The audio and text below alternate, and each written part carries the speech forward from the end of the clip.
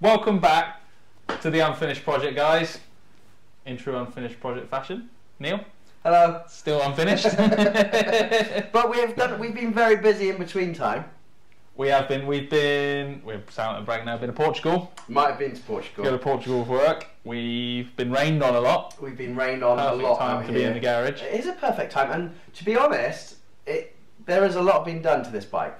There has been. Mean, You might remember when you left us last time, we were kind of mostly disassembled. Um, we had a frame with dirty bits on it, didn't we? We had we, we, we had a rolling chassis. we- Well, yeah, we had an engine in there, but we didn't have much else. no, and now we have just a massive pile of bits. And I must confess, put my hands up here, got to that depressing place. You know that bit in a project where you've torn it to pieces and you're like, oh, I had a bike. Now I don't have a bike anymore. I've just got a pile of scrap metal. I'm kind of there with it at the moment. No, I'm I'm pretty. Uh, yeah, it's actually the neatest I've seen you do any project because this is very very quick for for an. Un, I mean, the name's very apt, unfinished project, but this is the quickest I've seen you do anything in this garage. So it's pretty good. I'll take that as a compliment. I'm not really sure it was, but so we stripped the rest of the bike. Actually, the rest of the bike came apart super easy. No more rounded bolts, no more snapped off bolts.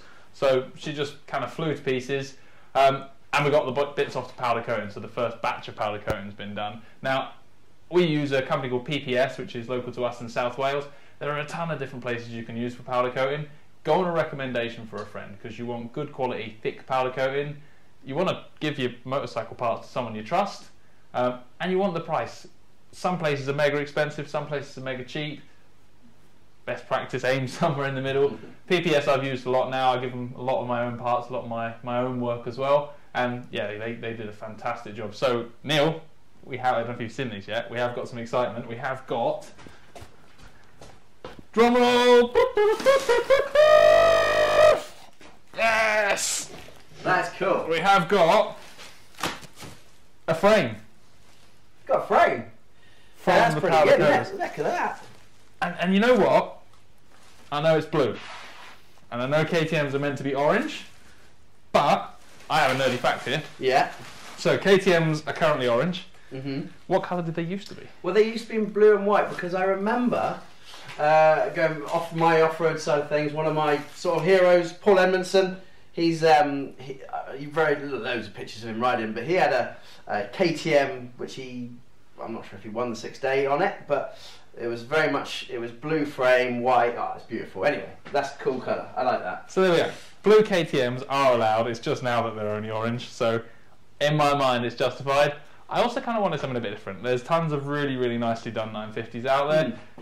A lot of people have done the orange, the white, the black, and I kind of wanted to do my own version. So That's cool. Yeah, I like that. old school colours, Nice. nice blue powder coated frame. That's cool. And since we last worked on this bike, we have had a little bit of help. So we've had a couple of couple of manuals sent through to us from Haynes. Everyone knows Haynes manuals. You know a sad fact? Go on. I, I, go used, on. I used, to, I used to read. My dad had a Haynes manual for his Fireblade when I was a kid. yeah. I used to read the Haynes manual That one's when cool. I was yeah. like nine. So these aren't bike specific. They're adventure motorcycle maintenance manual. So That one's a trail maintenance one from Haynes, and this one is building the ultimate adventure motorcycle. So about travel prep. Um, yeah, we had a flick through. There's a few good little They've hints and taken tips in pictures here. of your garage there. no, that that's got a finished motorcycle. Ah, it can't be my garage. yeah, I mean, and some of this stuff isn't going to apply to us because this bike's being built as a rally bike, not so much as a travel bike. But some of these little adventure trip tips and tricks. Look at that. And look at that, there's a KTM in it. KTM LC8 950 990 Adventure Servicing. There we go. We're going to read that in great detail later on. So yeah, a couple of books to help us through it. Any information you can get is gold. We mentioned before the KTM 950 info website, which has got a ton of stuff on it. Any information you can get before you start on the project. And it's kind of how I keep myself motivated as well. On the days Yeah. you can't get to the garage when you're on a flight, just sitting there scrolling through forums, scrolling through the internet, grabbing a book, load your brain up with knowledge so that you can maximize your time in the garage. Let's have a look at this frame and get some powder coating here. Trusty Stanley knife. Oh, don't mark the new frame, Neil.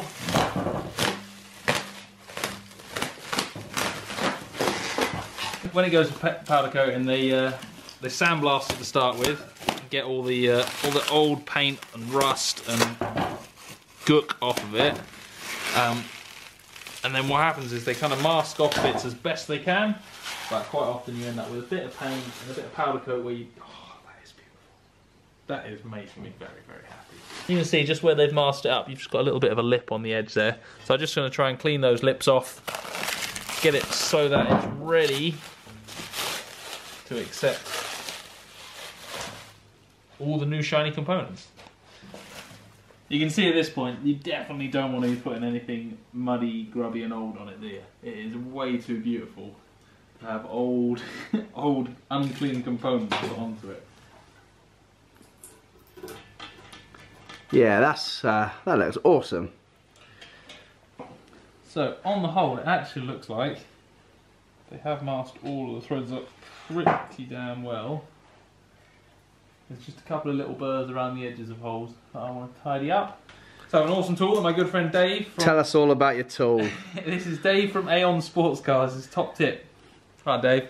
He is a lot better at this stuff than I am, but this is a deburrer. So it's got a little blade on it, and you put it in the hole, Show us your deburrer again. wind it round like that. Look at that, look. and it just takes the edge off the burn. Chris deburr. wind round. Nice. Is that not the most useful little gadget you've ever seen? That's cool. is my oil tank. That kind of sits at the front of the bike. It's quite visible on the 950. And again, it was all flaky. All the paint was corroded. Like the, the tank was corroded and the paint was flaking off left, right, and centre. So we had that powder coated as well, and that has come up absolutely beautiful. And you might sometimes you wonder why go to all the trouble of powder coating when you could just paint this stuff, but you just end up with a much better, much tougher finish when you powder coat it. If you're a really good painter and you've got a spray booth and you prep it all properly, you can get just as good a finish, but in reality, not many of us have that. We've got spray cans in the backyard, so if you can get it done better, get it powder coated. Chris, what have we got here? So, the nice people at EBC Brakes, one of the things I did notice on the KTM before we pulled it apart was the brakes were pumped. I think brakes they were hopeless. So I asked EBC to send us some nice new brakes. So, big shout out to the guys at EBC Brakes. They have sent us double H sintered brake pads. Um, I used to use them on my first ever race bike many, many years ago. So the double H is a sintered pad. It's a little bit more aggressive on the disc, um, but it gives you a bit more bite, a bit more power. So now they've also sent us um, some new discs. Now, again, I'm not one of those people who likes to read on the internet forums about like, oh, these bikes always do this. Because again, the KTM 950, everyone says, oh, they all do this. They always have this problem with the brake howling, and I don't like to just like take that as gospel because there's definitely sometimes other things that work there. But I have to say, the KTM 950 has non-floating discs as standard, and they howl and they make loads of noise, and they're not that good. So EBC have sent us these absolute beauties, a set of floating discs. So they've got these little pins, so there's a chance for They the are beautiful. So that is the disc it's going to replace. The grubby old, And that is the, the work of art that is going on. Should bit we, uh, ridged. we're going to put you on the line here, EBC, because we're going to see if this fits. Look at that. Holes line up, same diameter. Beautiful. That is a work of art. And again, the same on the front. Uh, uh, a solid rear disc isn't unusual, but again, solid front discs are pretty unusual in bikes these days. And EBC were going to try and find me a pair of floaters. Look at the box. That is a special box as well. Now, I've taken the mickey out of unboxing videos on the internet for years, and I think we might be making one now, but that is pretty sexy. Made in the UK. They are beautiful, hey? Look at that, compared to the muck that's coming off of there. That is gorgeous. What's, what's the plan then? Are we? So we've got piles. We've We've got terrible So- piles. Swinging arm, Oh. Oh. that's good. So we we But so we're going to replace the bearings. So are we writing a list about bearings or? Are we not going to? Should we have a list? Let's have a list. Let's get Let's a, have a list. list. Let's get a list. I got Big a list. big lump of cardboard and a permanent marker. It's going to be a long list, Neil. It's going to be a long list. Going be a long I'll old list. A long bit of paper there. So, yeah, swinging arm is good. Shock. So we've got some exciting news. We got a little bit of help from WP Suspension. They've agreed to take a look at our museum piece shock and forks. Um, we're going to go through those bits and pieces and kind of try and refresh everything, get everything a bit newer, a bit better. Try and twist their arm into giving us some uh, some nicer components and a new spring and stuff. So yeah, WP are going to help us out with that, which is awesome. But the shock needs to come off. The swinging arm needs cleaning up, and then that can go in the ready to go pile. So we, So we need swinging arm bearings, So swing arm bearings. swinging armature bearings. Swing in arm or Then- swing arm? Should we go American swing arm? Swing arm. It's like bringing back memories of my childhood. My uncle used to tell me off if I called it a swing arm. He used to have, have, have to call it the full swinging armature. Swinging arm. So- how's the chain sliders on that? Are they they they need replacing, don't they? They're mint. That's the state of that. I can't even see the chain. you know, right, for yeah, I'm not sure if you can see it, but the chain has worn away the swinging arm. Yeah, that's not right, is it? No, Do you want a new one of them then? I'm I'm gonna go. You're a fussy bugger, aren't you? I'm gonna go. We might even need, go to Chain. the point of actually having a little bit of an alley weld on going on. No. Chain rubbing strip. Right, Chain rubbing strip. that is swinging. I'm good, yeah. You Swing happy with that? Amazing. So that can go in what pile? That That's can go with clean. the wheels. That's in the clean pile, yeah. That can go with the wheels. Then. Clean up. So in there with the wheels. Clean meat. Exhausts. Exhaust. These are actually pretty good. Now, are you planning on keeping them exhaust, or are we going full rally? I haven't decided yet. I would like a full rally exhaust, but in They're- the in the interest good, aren't they? of not blowing the budget completely, these are a set of Wings Superflow silencers. They're tidy. Um, they're light, they're tidy, they're in good condition. so they just need to be cleaned up. I think they just need a clean up, and they'll be good on the bike. Some guy, now that is a messy some guy. No, it's clean though. It's clean. Now, with this, do you reckon we can polish that? I'm a little bit, I'd like polished metal. You like polished What are metal, you- dear? We can polish that. You can polish that then. Oh, that sounds brilliant, perfect. Brilliant. No, that, It was no. made in Germany. That's the original one. And again, you know what? Again, this is an area. There's tons of aftermarket bits There is, available. isn't there? Yeah. Um, what I don't want is I don't want to add a ton of weight. No. Like that's a pretty decent That's sump guard. It's not too heavy. It's sturdy. Let's let's not say heavy. It's sturdy, isn't it? It's, and it does its job. It's it's and I don't think we need to add a ugly. load of weight. No, It's I think the stock sump guard. Again, there are plenty of people out there who've put aftermarket sump guards on their KTM's. Um, I'm not sort of a sump smasher, but so I would like to polish it. we'll polish that. Thank you. So it's in the, this. I feel like the cleaning pile is going to be the biggest pile in I think there's going to be a very big pile. So on the rally bike subject, while we were out in Portugal, Ah. Neil had Neil had his Dakar bike out there. And we talked before about me wanting a rally bike and being excited about You can these see rally since. I've actually healed up a little bit. Yeah, I've your shoulder works now. That movement. I'm getting there. But yeah, Neil had his rally bike out there in, in, in Portugal. So it's a 2017? 2018. 2018. Husqvarna 450 factory rally. That's a pretty good name for a bike. Mm. Anything that's got factory in it. Yeah. So I had to go on that. And Actually, I'm now scared of this. I might have a video. Hopefully, hopefully we have some videos. If not of him, it might be of me. But anyway, I'll show you the bike. We'll get a picture of the bike. Anyway, Yeah. Picture of the bike and videos. we can send that. Honestly, that thing was an absolute weapon. Like it looks in your mind, you're like, ah, it's just an enduro bike with a big tool fairing. And, Yeah, yeah. But they're unreal. They are so fast, Mm. and they're they're like kind of hard and stiff and angry. Like I was, Yeah. I'm gonna say, frightened of it a bit. You can't ride slowly on it. It's one of those bikes that it's um yeah, you've got to treat it like it's like a driving a Fiesta down to the shops or a Ferrari down to the shops. I don't know. It's, there's a little bit of a difference. So with that in mind, what do you think this is going to be like when we built a 950 It's rally bike? amazing. This I is think- be awesome. This is going to be one of those bikes that you're slightly scared every time you go mm. near it. Yeah, I think so. I like that. Do you know what? These are So the tanks good. again, they're beautiful bits of kit. Are the fuel pumps? So the fuel pump's not No, fuel pump is the not in the tank. isn't No, it? no. Fuel pump's separate. Again, these I think just need to clean up. Yeah. Oh, are you going to spray them and they We're back to the- spray or I spraying or wrapping. I don't want to start a thing, but the bubbles. The bubbles are a problem. a problem. problem. Yeah. I mean, you let it actually. Do you know what they're clear tanks underneath? Yeah. What is the possibility we go full rally and go clear? Well, I mean, a, a clear a section, strip a clear section of the to tank. see to see what's in them. yeah, we which can do would that. Be cool. So it would be taking it back to plastic and then graphics. Paint off and graphics and clear tanks. Where do we start with this, Neil? to be So honest, let's it's- have a little look up close. Oh, That. ready? Look at the You don't want to get your hands dirty, do you? gook on That's that. what I'm here for. Oh, wait a minute. There is a label under here somewhere. Wow. That is yeah, it's, um, disgusting, isn't it? yeah, it is a little bit. It's um.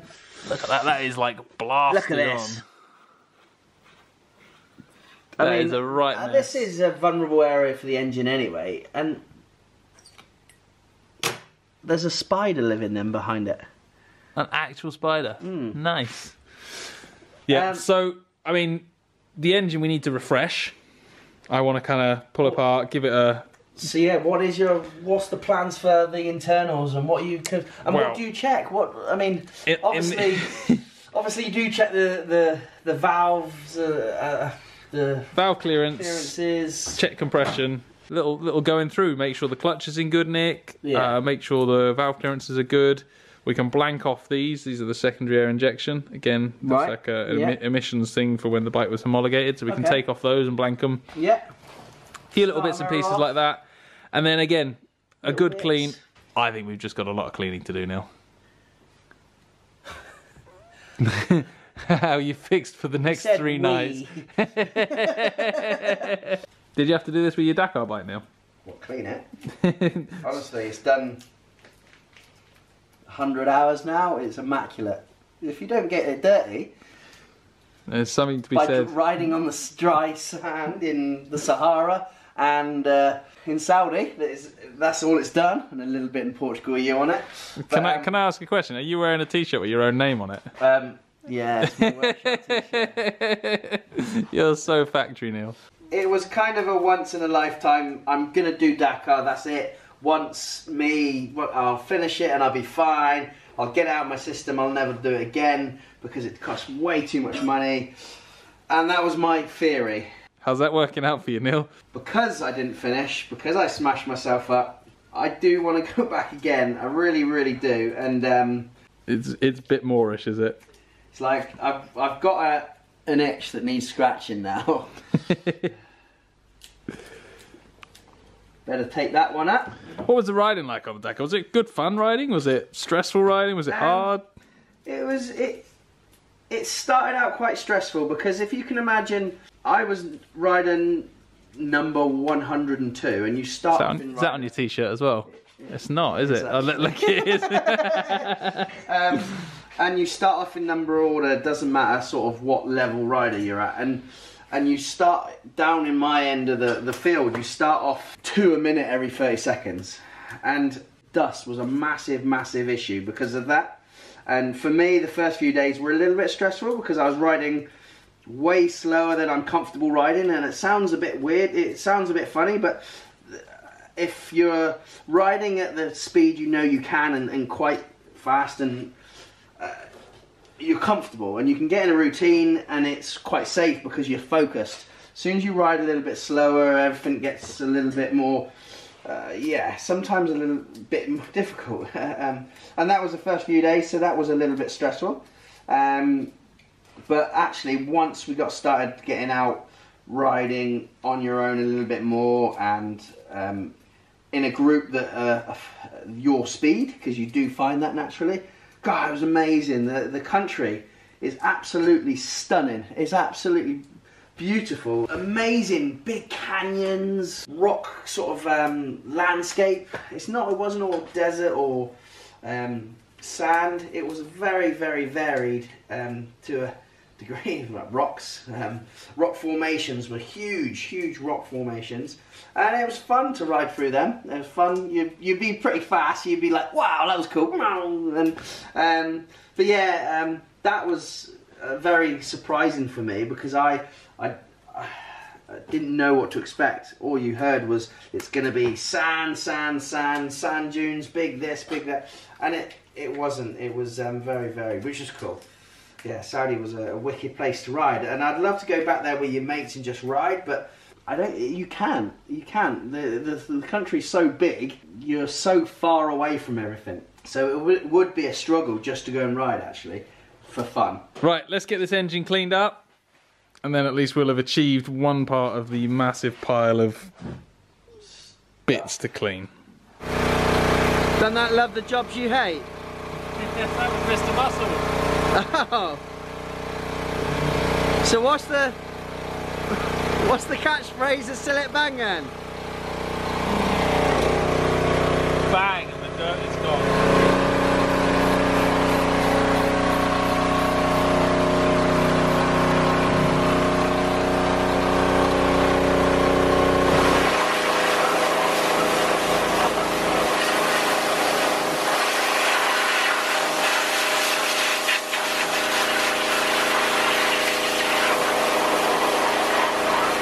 So there we are. Another good session in the garage. We've got the makings of a plan ish. Plan at the moment is yeah, work our way through this big pile of bits. Again, when you're doing this stuff in your evenings around normal life, it's easy just to make it organised like this, and then you can come and grab and spend half an hour, clean one component, and gradually work everything across to the the good to go pile. Apart from that, yeah, stay tuned. We're going to hopefully get some some shock rebuilding um, and some progress on the engine next. So stay tuned for the next episode and remember, get in those sheds and get those unfinished projects less unfinished.